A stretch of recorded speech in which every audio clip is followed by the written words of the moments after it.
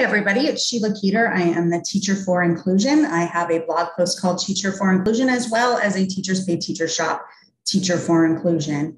If you are interested in videos on Teachers Pay Teachers, all different things, then don't forget to hit subscribe.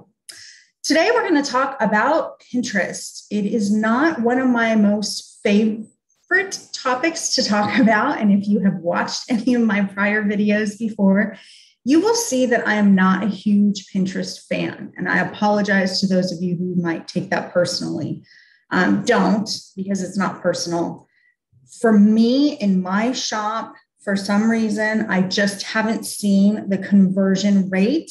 But there are other YouTubers out there who swear by Pinterest and swear that it works for them. And I have no reason to believe that they are not being truthful. So I wanted to show you today how to most effectively use Pinterest because I do know how, even though it's not converting for my store, I do know the best way to use Pinterest. I just don't take the time to do it. So, having said that, let's go ahead and go to my share screen. And we're going to go ahead and start in Canva because that is where most people create pins. So I have a pin here. It's called the crossover. It um, has my daughter. If you have a, a child who is at the grade level that you teach or pins for the grade level that you create, then you are as lucky as I am because I just pay her a few bucks and she does photos for me. Um, now, this is a pin that looks like a review. It's not an actual review.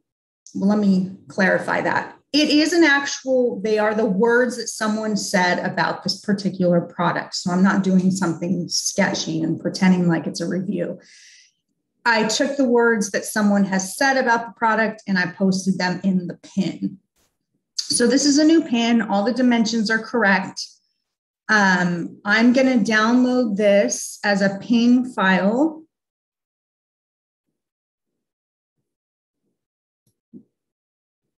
Okay. Here we go. Um, I'm going to tell you a trick. When you save anything for Teachers Pay Teachers or for any of your social media, keep getting in the way there.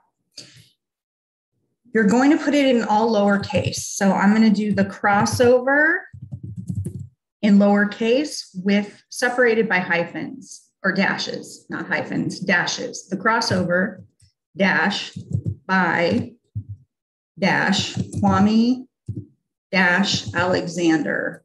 He's the author. And I'm going to save it. Now, the reason why I save it that way is because that is how SEO reads your pins or anything that you post on your Teachers Pay Teachers site. Okay, now we're going to go ahead and close this out and we're going to go to Pinterest.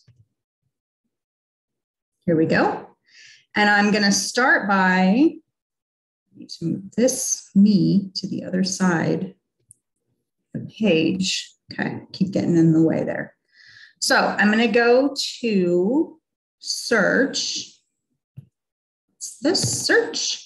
And I'm going to type in the crossover by Kwame Alexander. And I'm going to pull up some pins, okay, that show the book, the crossover. And I'm going to save them to my Teachers Pay Teacher board, not Teachers Pay Teachers, my Pinterest board. Okay, so just go through and save a bunch to your board. Okay. Once you've done that, now, yes, this takes extra work, but if you're going to use Pinterest, use it in a way where it's it's going to know what pin you're pinning the first time right away, right? I mean, if you're going to do it, let's do it right. So let's say the crossover by Kwame Alexander novel study. Now, this is longer title than I would usually like to use, but we're going to just do it anyway. So I'm going to go to quick access, pull up that pin, and I've already gotten the destination link, so I'm going to post it there. Crossover by Kwame Alexander. Novel study is a um, novel study. Your students will enjoy the rigor and creativity of this lesson, which made no sense, but that's not why I'm doing this. So then I'm going to go ahead and go to middle school. That's my middle school board, and I'm going to publish it.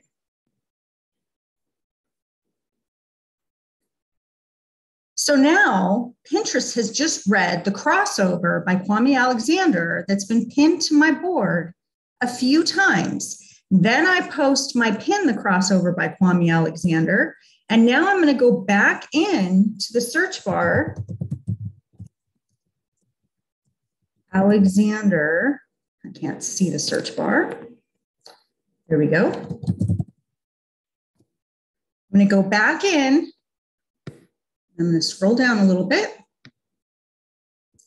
And I'm going to continue to find pins that have the crossover on it.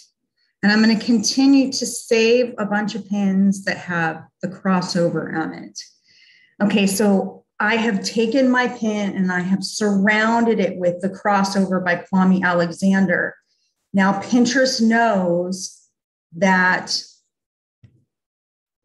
Pinterest knows, I say it like it's a real person, but Pinterest knows that this is now a pin that is the crossover by Kwame Alexander. There's no doubts. So it will show up in search when people go to look for the crossover by Kwame Alexander.